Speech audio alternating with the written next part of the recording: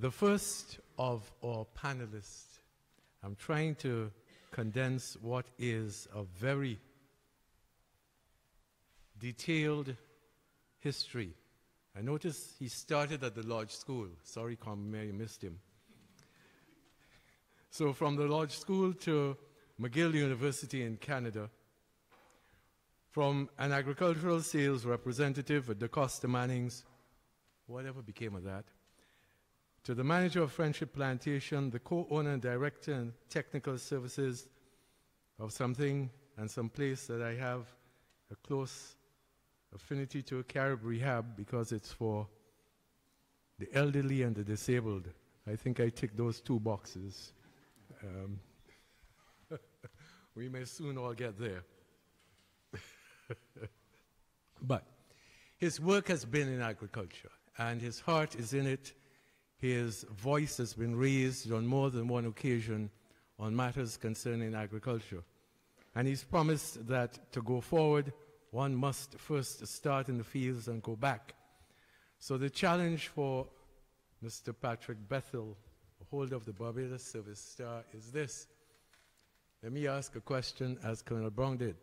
How do we move this concept of agriculture in our minds for, from uh, white plantation owners sitting on the patio drinking uh, some beverage to some black fellow in the field with a straw hat and a hoe and a fork to this technological age where we are partners in an enterprise that's going to bring wealth to all of us because we seem to be sometimes stuck in a mindset that says agriculture is a long shirt, a long pants, boots, a fork and a hoe, and a lot of sweat.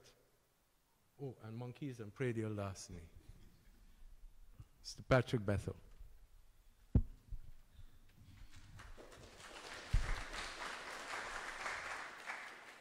Thank you, Mr. Moderator. Honorable Minister, members of the panel, ladies and gentlemen, President of the Association. Everybody hear me? Thank you. Um, some statements were made earlier that require answers, but I am not here to answer them tonight because they require a lot of details. I would just like to say to the engineers present, in engineering, I believe one on one always equals two. In farming, one and one can equal two, 22, or minus 22. It is a very inexact science. It is, and as regards the Barbados being a panacea, the Garden of Eden, it's obviously my brother is not practicing in agriculture because we are laden with challenges and we're very professional people in the Ministry of Agriculture who are working closely with us. But let us get into the subject matter. I'm allotted 20 minutes and I, I, I hope not to digress, but I need to go back because subject I was told was technology and agriculture. Then I hear technology making agriculture work for Barbados. I thought I should take us back to the settlement of Barbados by the Indians, Amerindians, first, because they were a maritime people, but they did grow crops, uh, cassava and corn, and they used to use a stick. But then they came around and somebody had a great idea, and they introduced some technology. Now, does anybody I'm sure some of you will know what these are. Anybody know that there?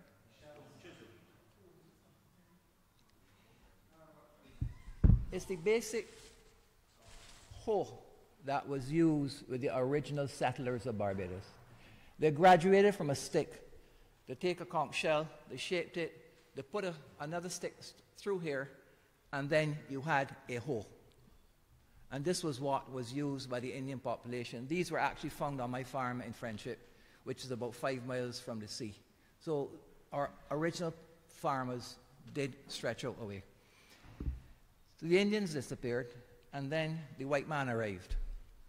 And he brought big progress now. Because then I'm sure you all know what this is. Because this was the next big change. And believe it or not, th- these are very specialized bits of equipment. Um, a hoe comes in three different sizes a 1P, a 2P, and a 3P hoe, for those who don't know. But this made big progress, and then with the forks also with it. So we progress now, huh?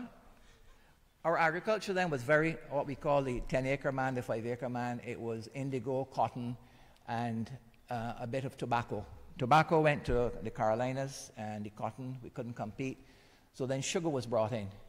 And with sugar, we had then a rapid expansion on, uh, of the farming uh, sizes. So then you had to cultivate the land. So we then brought in plows. These were animal driven, oxen driven primarily. They were originally wooden with a steel share in front. And between eight, about, uh, 12 to 16 oxen pulling this plow. We then went from the wooden plow to the metal plow. One wheel in front and a man walking behind. And we're really making progress now. We're moving now. This went on for a few, good few hundred, maybe a hundred years or so. Then we had the steam powered tractors and traction engines that came in. And they were doing pulling plows behind them and providing power for the farm. Then we went to the diesel and the gasoline powered tractors. And those of you who are more mature in this room would remember the old wheel tractors when they were going to plow. They took off the rubber wheels, they put these big iron wheels on the back, and they pulled the plow. Worked well when the soil was dry. When it was wet, it was a horror show because you had to dig off the mud that was on the wheels. Then we went to the three point linkage and the hydraulics on the tractors where the implements are now held behind. So this is all we know graduating in this technology business. But at the time, the, the crops were sugarcane was the dominant crop, and we were then growing some crops in rotation, primarily to feed our population, such things as yams, sweet potatoes, edos, corn, um, runcible or increased peas, uh, pigeon peas, and field tomatoes. While this was taking place, our cane breeding was also going through a tremendous change. And the West Indies cane breeding station is a world leader. It is the second, I think it's the second oldest cane breeding station in the world. Ian is the second or the first? Second? And it is a world leader in breeding cane. It, it produces uh, new cane for all sugar industries throughout the world. It is financed by sugar industries throughout the world. Every year, some 20,000 seedlings are selected. They go across at groves to the variety testing station. They're planted and they're evaluated. It takes approximately 13 years from the time you select a seedling to the time you have a commercial variety. This is an ongoing exercise. And of that original 20,000 varieties, you may get one or two that may be suited. And we currently have about 17 commercial varieties of cane available in Barbados. This is an ongoing program, and it's very uh, progressive. The minister raised an issue a few weeks ago with one of the breeders. As we're going through climate change, we're experiencing more drought. What are we doing about it? Already, and this was before this happened, we, the breeding program is selecting genes to enhance the cane to withstand drought. But this will take time to work through. But we are working on it with technology.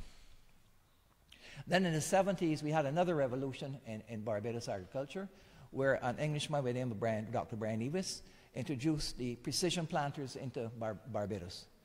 The precision planters, as well as modern fertilizer and spraying equipment, allowed us now to move from the, the original agriculture to pure stands of uh, vegetables, onions, carrots, uh, cabbage, sweet potatoes.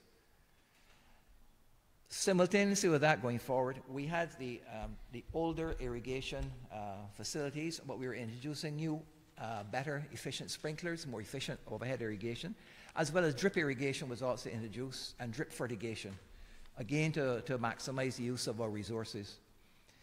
Then you saw the introduction of shade houses. They're not greenhouses, they're shade to protect the crops from the, the driving torrential rains.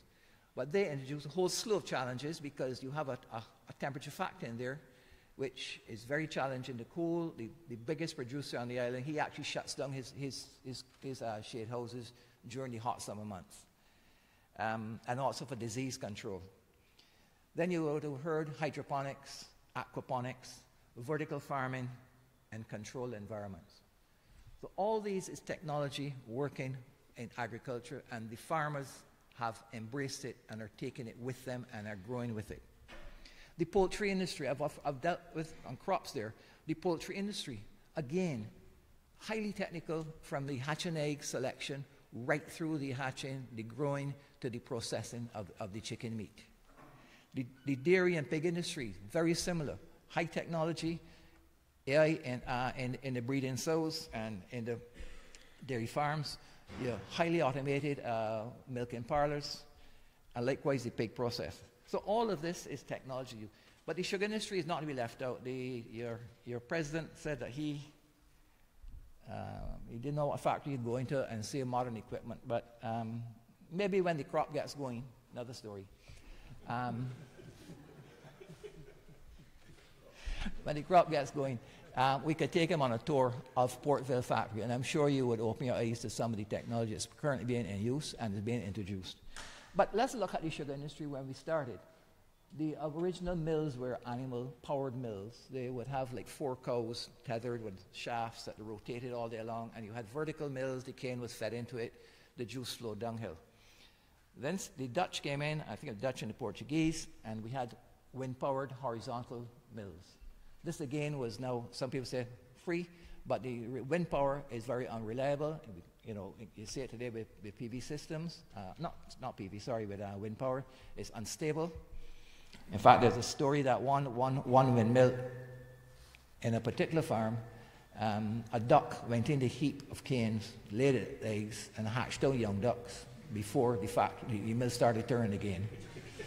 Um, I don't know how long a duck takes, but I think it's about three weeks but that, that's actual fact.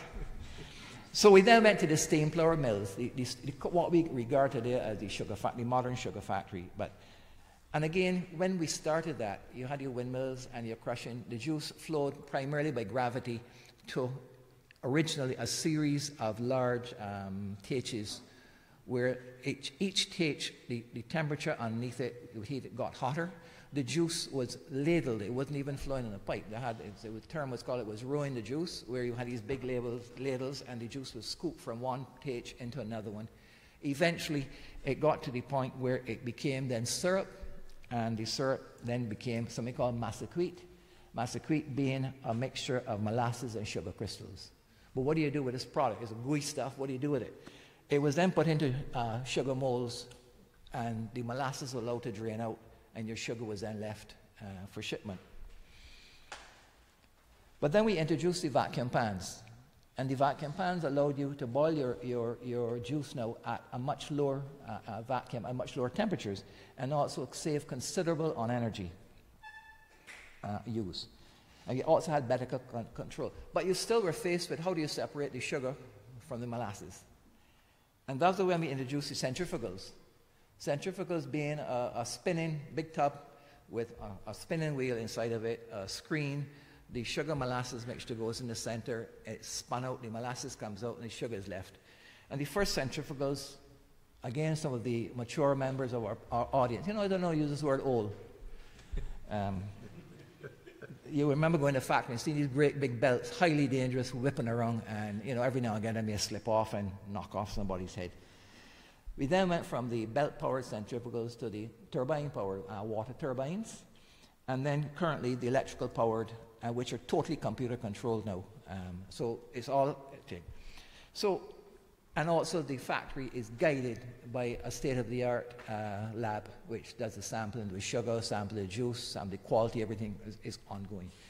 So I, I want to, I, ha I had to take you back to bring you forward.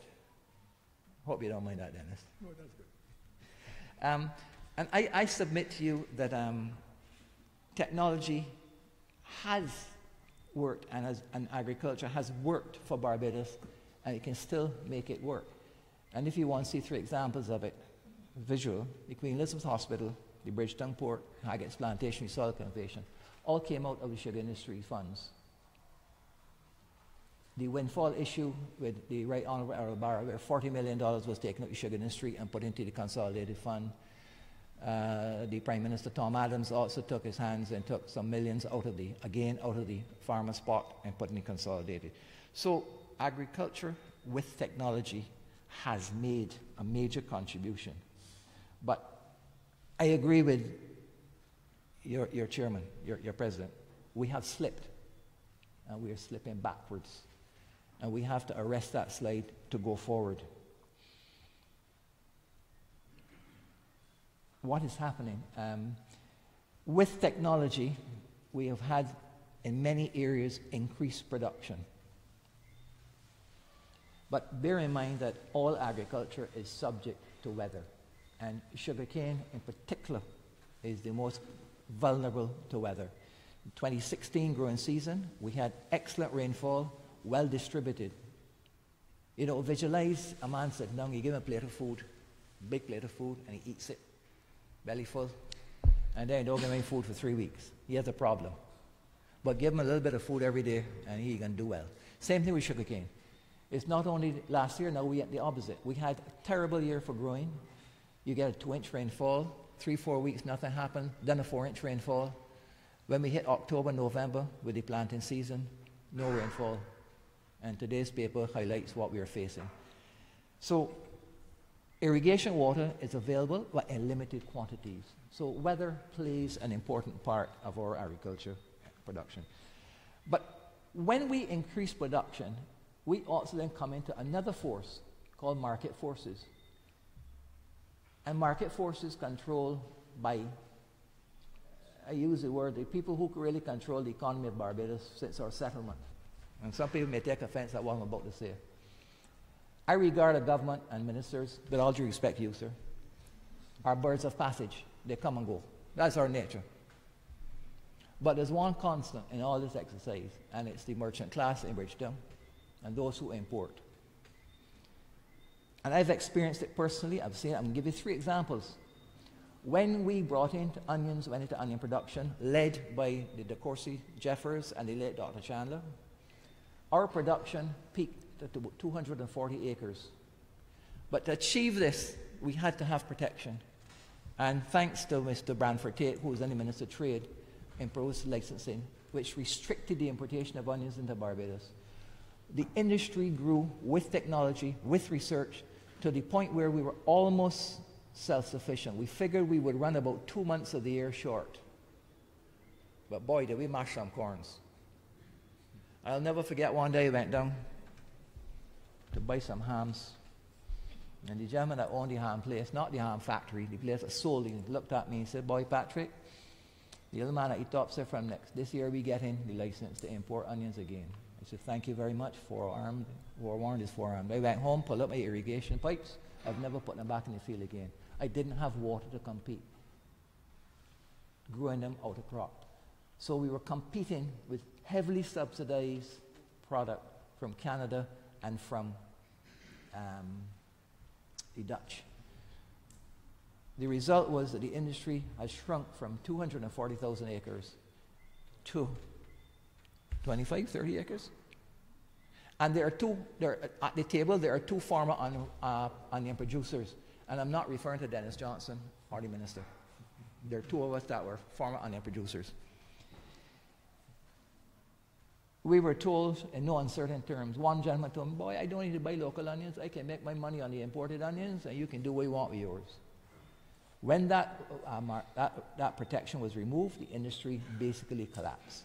The onions that are produced now are only produced in a very narrow window when you cannot buy onions on the overseas market. That's the end of their storage period, and the local supermarkets and some of the import will not cannot buy from other sources, so they're forced to turn to the local farmer. Peanuts. I'm not speaking of peanuts, Morrison. Peanuts that we eat. Um, and he was a wonderful minister of agriculture, with all due respect. I, I, I give my full credit, credence to him. We did research in, uh, in peanuts. We actually, there was one farm that was to, in St. John, totally mechanized, from planting to fertilizing to, to taking them out of the ground, turning them over, drying them, harvesting. But again, we mashed corns. And certain gentlemen went, crocodile tears, we can't sell the peanuts, you got your market blocked, what are you going to do? Market was open. You only see peanuts growing out in a short, few areas, um, you see a half acre or acre grown. Um, Again, how could we compete with Georgia, where the peanuts are growing, and full support with, with the government uh, in terms of technology and resources? Sugar. Topical subject at the moment. As I speak to you, Bar's market for sugar is about 4,000 tons. The future of our sugar is direct consumption of sugar. That is a high quality sugar that is being marketed in England, is marketed in the US. and marketed in Europe. Prices are around $1,000 US a ton versus $350 US for the bulk sugar. But as I speak to you, the market for sugar of 4,000 tons, only 2,000 tons is local sugar. We're still importing about 2,000 tons of sugar from two regional sources. And the government and the Minister of, let me get it right, the Minister of Finance, I think it is. I hope she don't quarrel with me. Under the Chaguaramas Agreement, has the authority to protect local production of brown sugar, both in quantity and in and, and quota and in tariffs. I can't say why we're still importing sugar, but I thought we should protect our local market to develop it because you, you have government putting a lot of resources and the farmers into the sugar industry. So we have a situation where the farmers are responding. The technology is there. We've, and the unfortunate part is, and, and I, am not blaming the minister, don't get me wrong. Government ministries don't seem to, to gel together. You have the Ministry of Agriculture working with the farmers to increase production. You have, I don't know what it's called now, but it used to be the Ministry of Industry and Commerce, working to import the same production that the farmers are producing. And the Ministry of Tourism said, but we have to import what the tourists want to eat. But we're the farmers in the middle, like idiots out there growing the crop and doing and responding. And that is the challenges that we find extremely frustrating.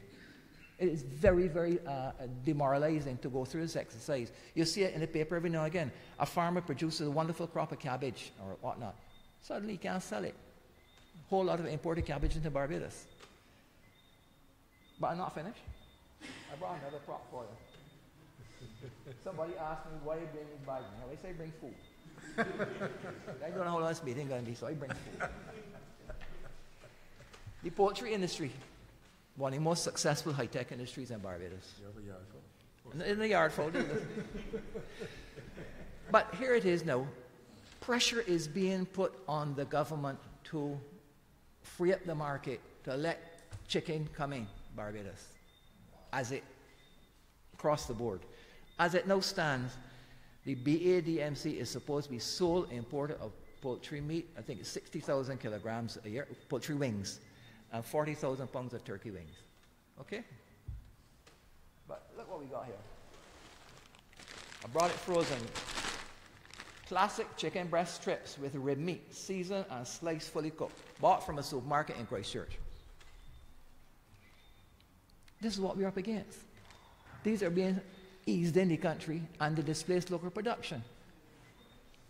And this happens throughout. And, you know, the Ministry of Agriculture, the Minister of Agriculture is doing his best to, to promote local production. And then you have the situation taking place. So how do we go forward? Okay, some people say, well, what about the export market?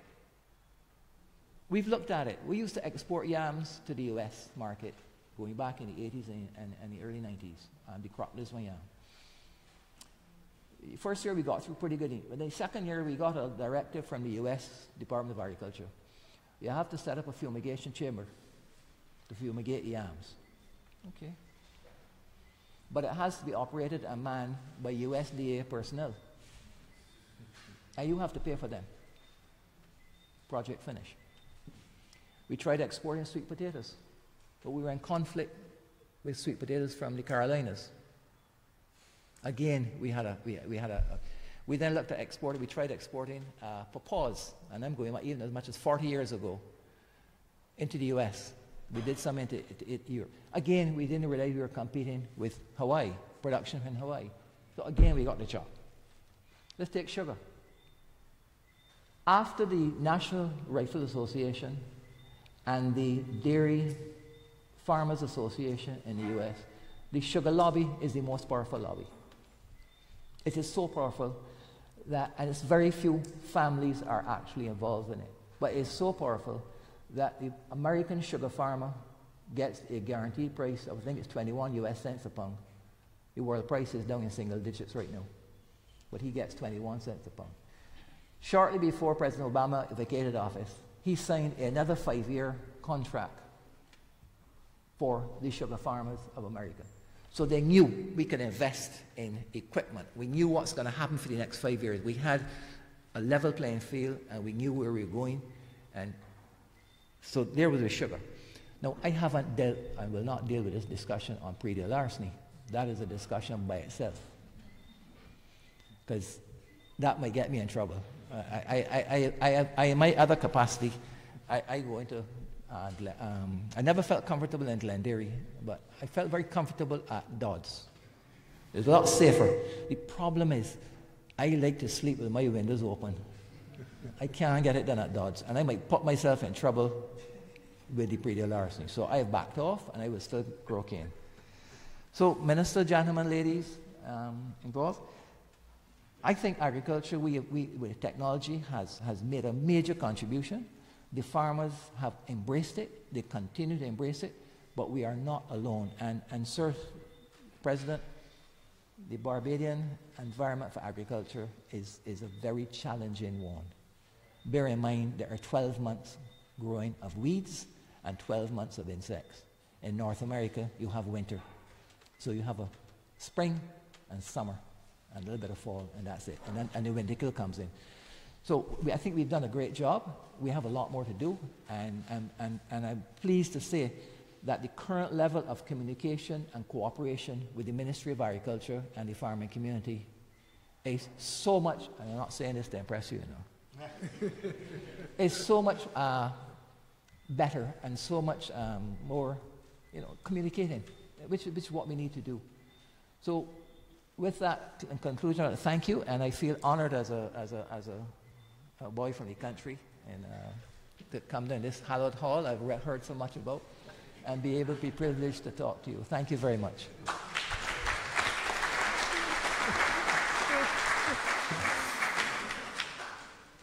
Uh, Mr. Bethell, I, I, want to take a couple minutes to say thank you for a very intriguing presentation. I'm glad you went back